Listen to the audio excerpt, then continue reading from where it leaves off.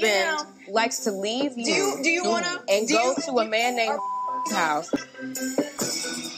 and suck his dick? Oh, I'm not joking. She knows a high end private escort that Michael has um, solicited services from. You heard the sentence, I would suck Juan's dick. That's what you heard. Um, I remember Michael and Ashley walking past us, and I heard, yeah, I would suck his dick. if you look anything like Juan Dixon, the rumors are true. You exist. I was not supposed to talk about this this this person. Um, but he says Michael Darby is a client of his. That's what your ass get. Cause I was holding on to that.